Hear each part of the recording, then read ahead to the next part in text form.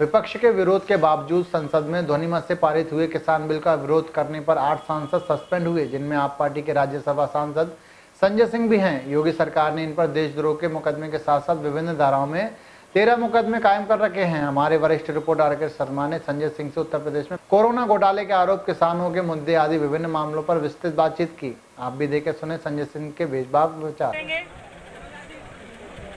श्रीमान महकर सिंह जी। इनके बाद रंजीत सिंह जी। हस्ता वाले। विरम सिंह जी। आज हमारे साथ हैं आम आदमी पार्टी के जाने माने सांसद श्री संजय सिंह जी। आज हमने उनसे देश के कई मुद्दों पर बात की। आप भी सुनिए उनकी बेबाक शैली में उनके उत्तर। की सरकार ने मेरे ऊपर देशद्रोह का मुकदमा लगा दिया है। अब ये देशद्रोह का मुकदमा क्यों लगाया गया? आप सब लोग भली भांति जानते हैं, पिछले तीन चार महीनों से मैं लगातार उत्तर प्रदेश में आम आदमी पार्टी के साथियों के साथ मिलकर कार्यकर्ताओं के साथ मिलकर तमाम वो जनहित के मुद्दे उठाने की कोशिश कर रहा हूँ, तमाम वो अत्याचार और अन्याय के खिलाफ आवाज़ उठाने की कोशिश कर रहा हूँ, जो आज उत्तर प्रदेश में अन्याय और अत्याचार हो रहा है। हत्याओं का जो सिलसिला लगातार चल रहा है और समुदाय विशेष को टारगेट करके जो हत्याएँ हो रही हैं इसके खिलाफ मैं लगातार बोलता रहा।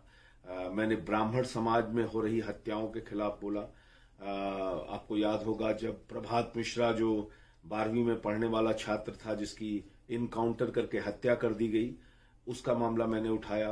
आ, खुशी दुबे जो दो दिन की विवाहिता थी उसको अब तक जेल में सड़ाया जा रहा है, उसका मामला मैंने उठाया।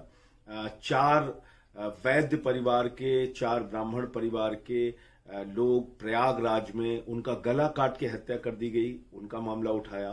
पत्रकार विक्रम जोशी जी की जब हत्या हुई गाजियाबाद में तो उनके परिवार से भी मैं मिलने गया। और तीन बार के लोकप्रिय विधायक निर्वेंद्र मिश्रा जी की जब हत्या हुई तो उनके परिवार से भी मैं मिलने गया और जब मैं वहाँ से वापस लौट रहा था तो आपको याद होगा पुलिस वालों ने मुझे सीतापुर में डिटेन भी किया। तो ये जो तमाम घटनाएँ उत्तर प्रदेश में हो रही थी इनको लेके मैंने कहा कि ब्राह्मण समाज की हत्याएँ हो रही हैं उत्तर प्रदेश में और इसको सरकार को रोकना चाहिए। व्यापारी एक इंद्रकांत त्रिपाठी महोबा में थे, जिनसे छह लाख की रंगदारी एसपी माँगता है, पाटीदार। और वो एसपी आज तक खुलेआम घूम रहा है। इंद्रकांत त्रिपाठी छह लाख की रंगदारी नहीं दे पाते हैं तो उनकी हत्या करा दी जाती है। आप बताइए, इन सवालों पे मुझे बोलना चाहिए या नहीं बोलना चाहिए? एक दलित युवक मोहित कुमार को पाँच दिनों तक जो रिक्शा चलाने वाला लाल, लालगंज का एक दलित युवक था, उसको पाँच दिनों तक थाने में रख के बर्बरता पूर्वक पीटा गया, मारा गया और उसकी हत्या हो गई। मैं उनके परिवार से भी मिलने गया, उनके गाँव गया। अब बताइए कि ये मामले उठाने चाहिए या नहीं उठाने चाहिए? लखीमपुर खीरी में एक दलित परिवार की बच्ची के साथ बलात्कार करके उसकी हत्या कर दी गई उसका शरीर छत विछत कर दिया गया। आ, बलिया में एक राजभर लड़के को इतना बुरी तरीके से मारा उसको मार मार के अधमरा कर दिया गया। तो ये तमाम मामले जो घटित हुए जौनपुर में एक दलित बच्ची के साथ बलात्कार का मामला हुआ मैं उनके परिवार से मिलने गया। और बहुत दुख के साथ आपको बताना पड़ रहा है। जब उसकी माँ से लोगों ने मिलवाया तो उसके मुँह में आवाज़ नहीं थी। वो बोल नहीं सकती। अपनी पीड़ा भी किसी को नहीं बता सकती। तो ऐसी ऐसी घटनाएँ, उत्तर प्रदेश में नृशंस हत्याएँ, बलात्कार की घटनाएँ अलग अलग समाज के लोगों को टारगेट करना आठ पुलिस वालों की हत्या हुई आठ पुलिस वालों को एक मुठभेड़ में वो मारे गए तो उनके सभी परिवारों से मैं मिलने गया। आज कानून व्यवस्था की जितनी बदतर हालत उत्तर प्रदेश में है मैंने इसके खिलाफ आवाज़ उठाई और मैंने कहा कि ब्राह्मणों की हत्याएँ रुकनी चाहिए दलितों की हत्याएँ रुकनी चाहिए पिछड़ों की हत्याएँ रुकनी चाहिए अलग अलग जातियों के साथ अन्याय और अत्याचार रुकना चाहिए।